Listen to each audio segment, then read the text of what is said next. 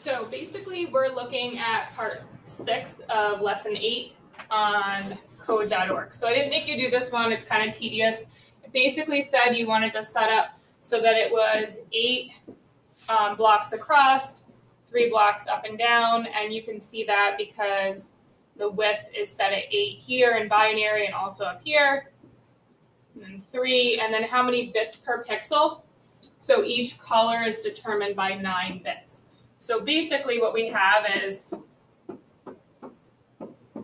nine and these three are the red. These three determine the amount of green light and these are the blue. Okay.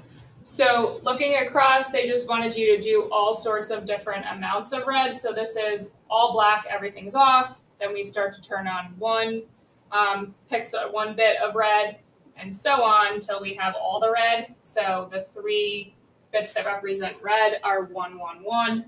Um, so actually that adds up to seven, right? Because zero would be off, so it's zero through seven are the choices. So here's the same thing for green and for blue. Okay, so that's black all the way to all of each of those colors being turned on. So we're gonna look over at Delta Math now um, and see the types of problems you're gonna do. So basically here, and this is the way RGB typically works, we actually have 256 values for the amounts of each color. And that's enough, so pretty much to the naked eye, you are going to see, you're not gonna be able to tell the difference.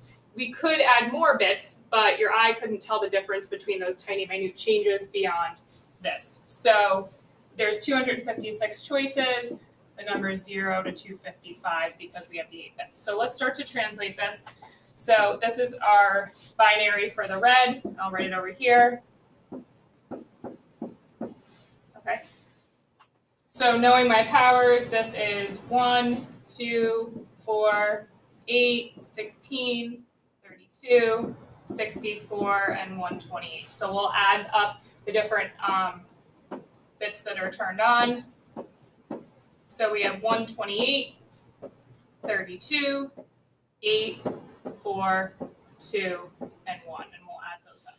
So I'm just going to group things. There's a 10, there's a 10, plus a 5, so 25. And then I add these up, so I have 175. So what we need to do, and this is a little tricky, is we'll turn the red color to what we think it should be. So, and you can see the color on the right changing. This can be a little finicky to get it to be the right number, but there we go. Okay. Um, so you see it got some more like a dark red color. So I'm going to do the green now. And if I had been good about this, I would have used the right color for these, right? So this should all be in red, which I wrote green. Um, so we have 0, 1, 0, 0, 0, 0, so this is a nice easy one to add up. We have the 64, the 2, and the 1. So it looks like our green, which this doesn't look like a very green color, um, that adds up to 67. So we'll do that slider.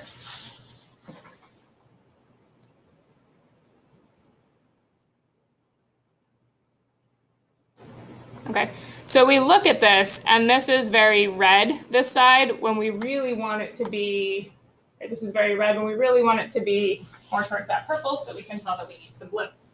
So we're going to do this number now.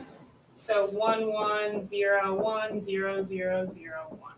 So I have a 128, a 64, skip the 32, I have a 16, and a 1. So this looks like it adds up to 19.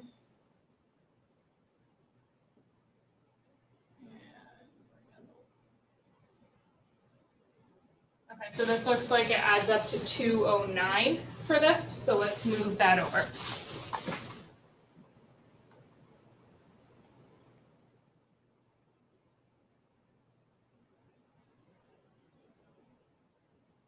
It looks pretty good. Once I get it, and the computer will pop up and say you have found the correct color, you may now press submit. So you can click OK and submit your answer. And you know it's the right answer because it told you, but this is the RGB. This is how it will be written with those different quantities of red, green, and blue. Okay, so you have three of those to do. That's it for this assignment.